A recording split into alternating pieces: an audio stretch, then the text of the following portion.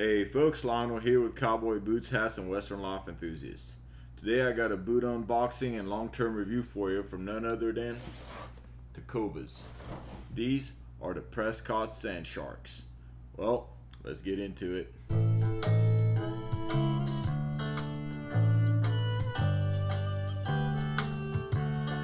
So just in case you guys are wondering how this is an unboxing and long-term review, I got these in February in a size 12D, which is my regular size, and they felt a little bit big. So I called the folks over at Tecovas, and they told me I could walk with them for a little bit longer because I was so unsure. So uh, unfortunately, they didn't have the sizes 11 and a half D until about last week, and that's when I ordered these, which are brand new pairs of boots. So they were kind enough to actually uh, take the other ones back just to make sure I was comfortable, which is very good from uh, Tecovas customer service. So let's see these uh, boots. So first of all, you got the Tecovas box right here, as you guys know. Uh, so really nice box, very simple. Kind of just says everything about them right here. So they always give you guys a really cool koozie so this one is a new one that I've never seen before. Have a sunny day, y'all. Tecovas. Pretty cool koozie. You get this envelope, which uh, usually gives you guys the uh, return label as well, but this is your free return and exchange uh, card. And this will show you uh, how the boots are supposed to fit and how you're supposed to take care of the boots. So that's what comes in the card. I guess if you guys need to return them or exchange them for any reason, you just go ahead and call Tecovas or send them an email and they'll send you a return label at that point. Uh, so you just uh, basically uh, take this off. They come wrapped up in a plastic. There we go.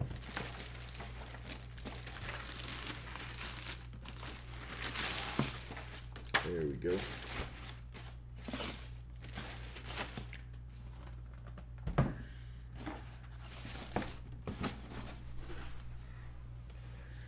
So they do come with some really nice uh, boot shapers. Tecovas have some of the nicest boot shaper or the shaft shapers, I must say, and um, they're really nice. And these are very important to keep for reasons that I'll tell you in a moment.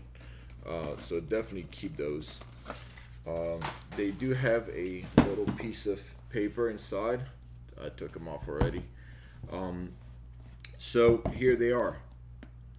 Now they smell really nice. And the first time I had them on, I actually went to the store with them, and uh, the whole truck smelled like uh, smelled like leather. I wish it could have stayed that way, but actually they smelled like leather for a long time.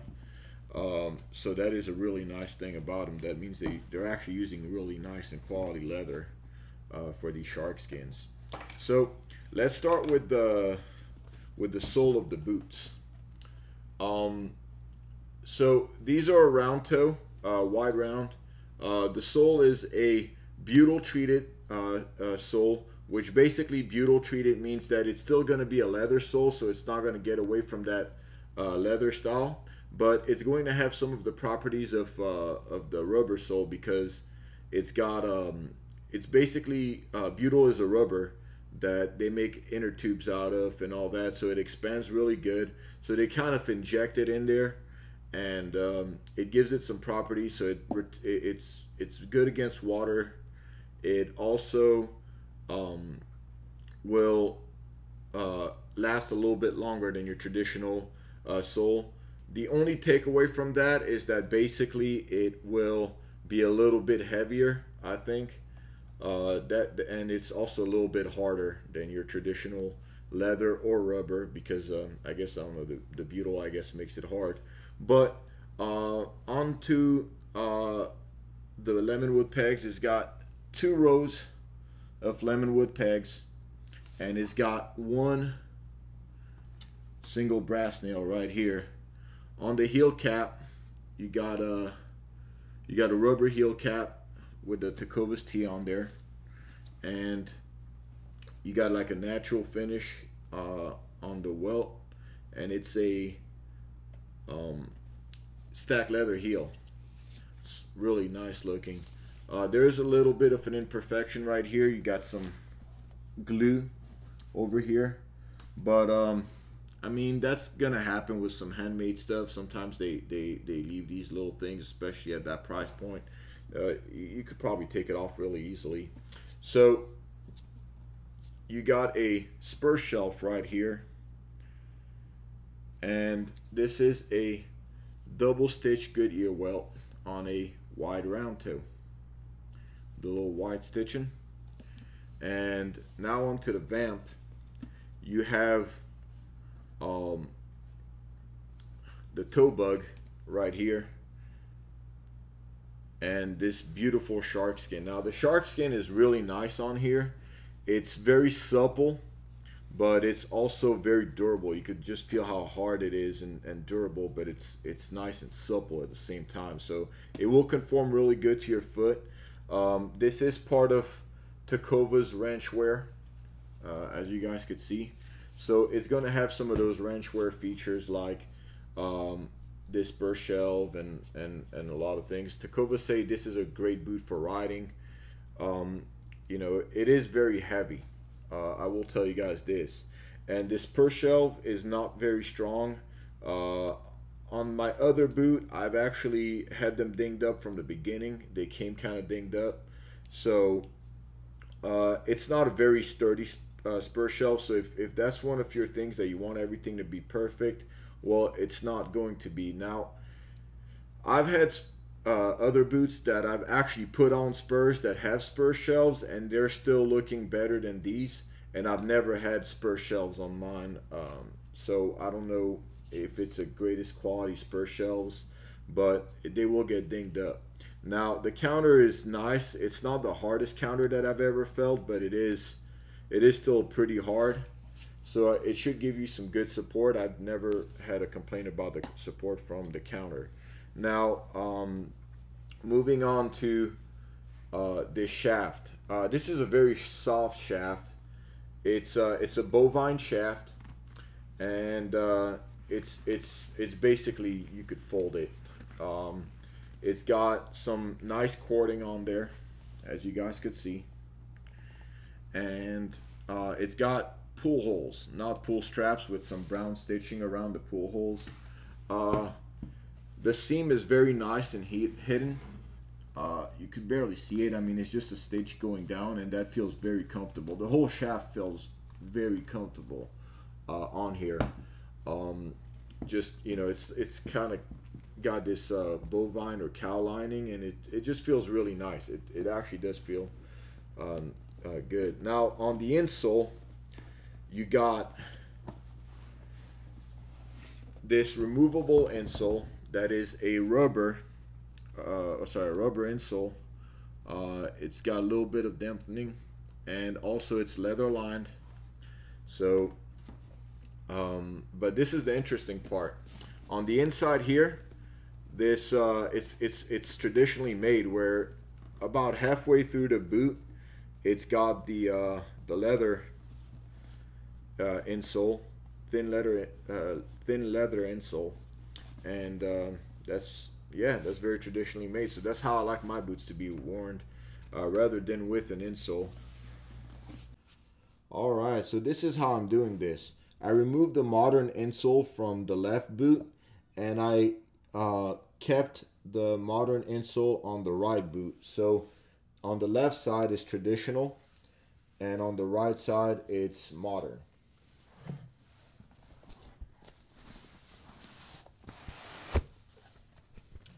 Felt a pop.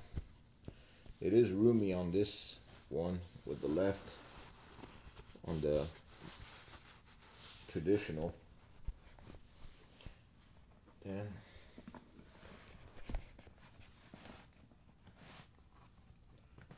a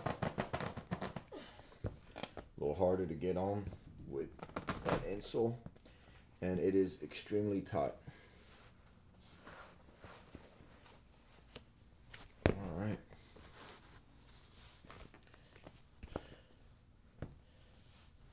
A side profile. Here is the front. other side.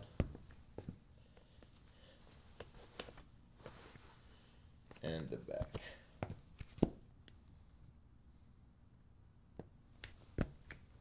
Now, I will tell you guys this. This feels extremely tight. But nothing that won't break in eventually. But it also does feel like my foot could be a little bit more back. And this one feels very loose. Like, um, like it did on the 12D when I had the insole. They do look good from the side profile though.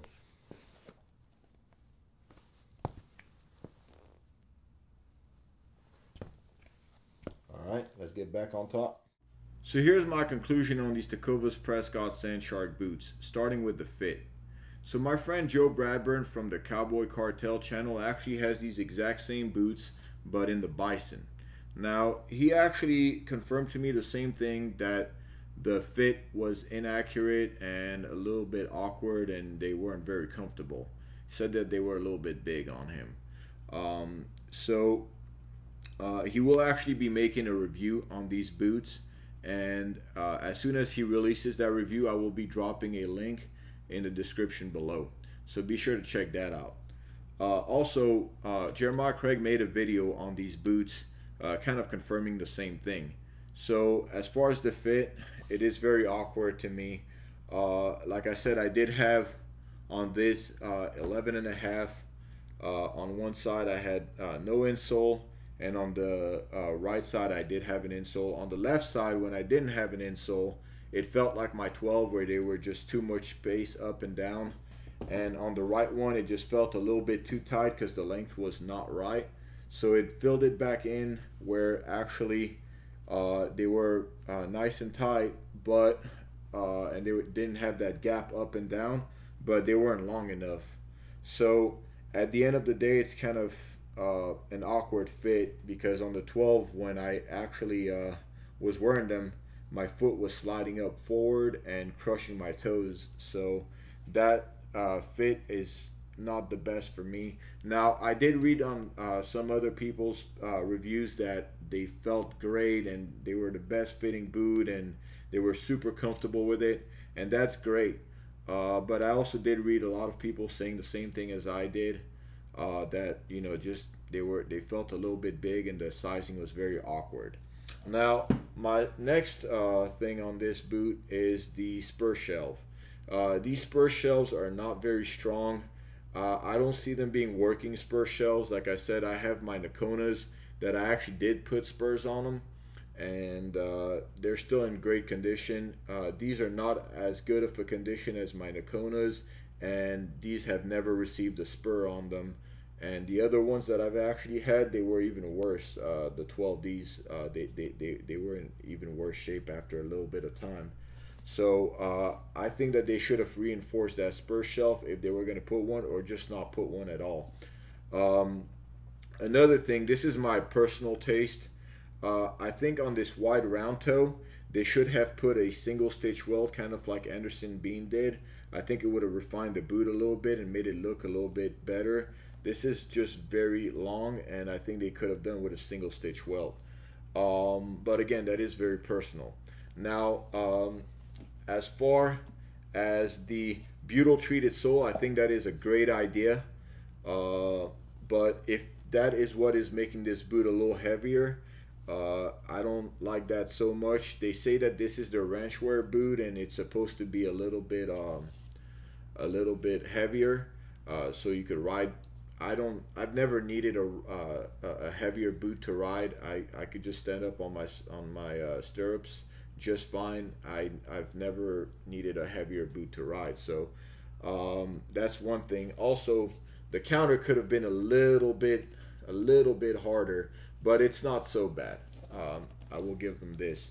Now, uh, as far as this shaft, uh, because this is the ranch wear, uh, you're actually supposed to be working with these, and you might be able to actually you know stick your jeans inside of the of the shaft if you're mucking a stall or something like that Uh, you don't want to get your your jeans all dirtied up, so you put you put your your uh, jeans inside of the shaft, and this has a nice wide opening. But being that it's so soft, you could actually clean those boots up and maybe wear a nice fitted jean without uh, the shaft imprinting on the jean when it's inside because it will literally kind of crush up and and and fit nicely inside of a maybe more fitted jean but uh, I think that in time this soft shaft will actually uh, drag down and you know kind of uh, not not be as as uh, good. That's why you need those uh, shaft shapers. Uh, as far as the shark skin it is very nice and supple yet very strong and durable. So I do like that. And also if you see on the shark skin you might see like a little wide gaze on there like a like somebody dropped baby powder on them a little bit. Uh, rest assured that once you actually condition them they will change color and they will look a little bit better. Uh, they won't have that white uh, glare on them anymore. As a matter of fact I will be putting a picture right here of how the boots look so these Tecovas press Prescott's are coming in at $295 in this configuration and I think that is a wonderful price to pay for shark skin boots of this quality. If they were a single stitch welt and they fit a little bit better, I would have definitely kept them. But being that those two factors are in play, I simply cannot. But if you guys love how these boots look, I would strongly urge you to uh, order a pair in your size, see how they fit, and if they don't fit good, just to downsize and uh, you know see see if that will work out for you. Because if they do, you guys will have a wonderful pair of boots for an amazing price.